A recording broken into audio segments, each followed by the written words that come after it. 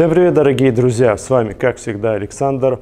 И я хочу продолжить обзоры на компактные колясочки от компании Espira. И сегодня мы с вами рассмотрим ее такую вседорожную версию Espira Fuel.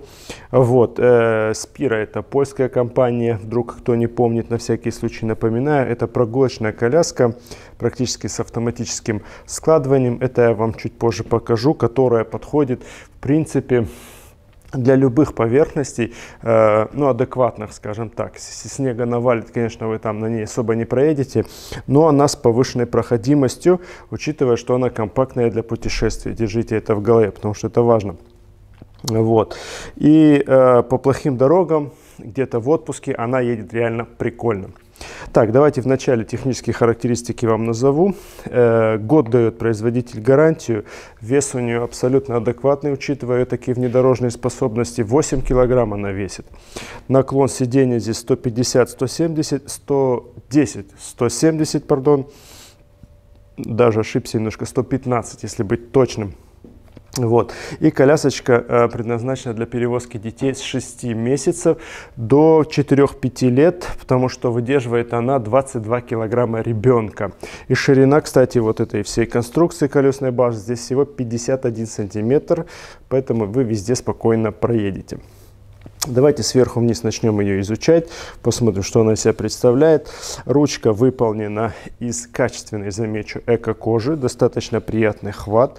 Ручка, как по мне, чуть-чуть тонковата, я люблю потолще, но это мое личное мнение, тут смотрите сами. Но уверенный, достаточно приятный хват, и она достаточно мягенькая. Что касается козырька, в козырьке есть у нас смотровое окошечко с москиточкой, чтобы вы могли за ребенком наблюдать, с этим все окей. И сейчас вы видите козырек уже полностью в раздвинутом состоянии. Здесь вот эта третья секция, она может, собственно, прятаться под замочек. Но я ее сразу открыл, потому что, э, чтобы вы увидели ее максимальный размер козырька. Вот. Что касается э, материалов, сразу хочу заметить, нормальный, приятный тактильно ткани. И из опыта уже много лет продаем такие коляски с такими материалами. Это живучая ткань, как показывает практика. И легко поддается чистке, после стирки она не портится. В общем, ткань выбрана максимально практичная в модели из того, что мне нравится. Я люблю, когда в колясочке э, спинка очень высокая и жесткое основание. Не гамак, ничего и высокое. Потому что дети разные. Если высокий ребенок, полностью покроет всю спинку. И э, высоко находится от спинки подголовник. То есть голову цеплять ребенку не будет. И козырек здесь регулируется без кнопок. Просто вот таким образом. Куда нужно, туда и направляем. Так, по безопасности. Классическая система, пятиточные ремни, мягкие накладочки и на паховой, и на плечевой зоне. Бампер у нас здесь, соответственно, как калиточка откидывается, причем широко откидывается, вы спокойно посадите ребеночка с этим проблем вы не ощутите. И подножечка с эко-кожей снизу, чтобы было практичнее, потому что там всегда грязно, чтобы легче было протереть. Ну и, соответственно, ступенечка для ребенка с таким декоративным хромированным элементом. Прикольно смотрится.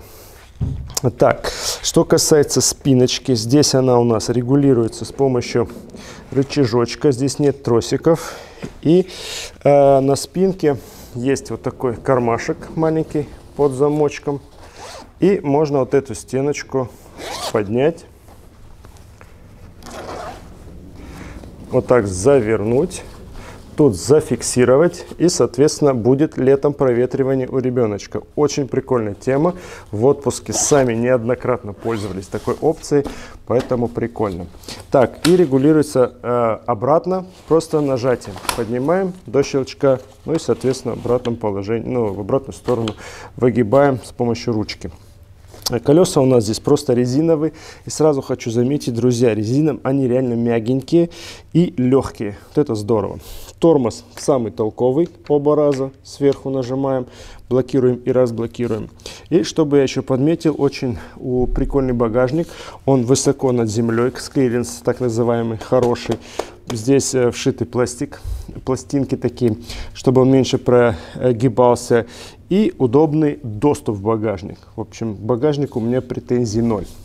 А сейчас давайте с вами посмотрим, как колясочка у нас складывается, потому что это, скажем так, их сильная сторона. Для того, чтобы сложить на ручке, есть у нас рычажочек и кнопка. Одновременно нажимаем.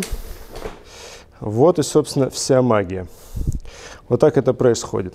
Смотрите, производитель не рекомендует носить вот так колясочку за бампер. Ну, разок взять, конечно, ничего страшного, но если в постоянной основе, рекомендуется носить ее, собственно, за саму раму. Вот. И вот так у нас получается достаточно компактный вид. Если что, как вы видели, можно снять с нее э, бампер, и она получается реально компактной. Такой компактный внедорожничек получился. Сейчас, секундочку.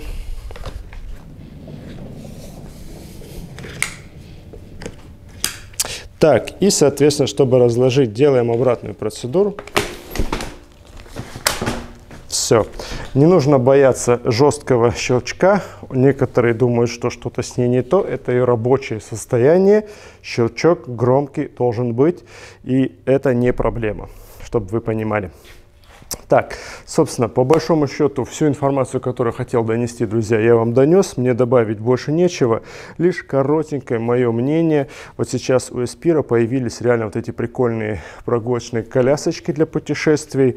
И по очень-очень вменяемой цене, учитывая нынешние реалии, скажем так, и колясок, если мы посмотрим на коляски прямых конкурентов по функционалу, да, и качеству, наверное, я бы тоже так сказал, э, то, наверное, те будут как минимум в полтора-два раза дороже. Поэтому цена-качество здесь просто наикрутейшая. И э, я очень рекомендую обратить на них внимание при выборе коляски. Ссылка внизу, естественно, будет на Firstbag, само собой. Вы, кстати, можете заказать две коляски, привезут две, вы выберете, одну курьеру везет, одну оставите себе. Ну и, собственно, все. Поставьте, пожалуйста, свой царский лайк. Если есть вопросы, пишите в комментарии, я на них отвечу. А вам хочу пожелать сделать хороший, грамотный выбор коляски для вашего ребенка. И удачи на дорогах!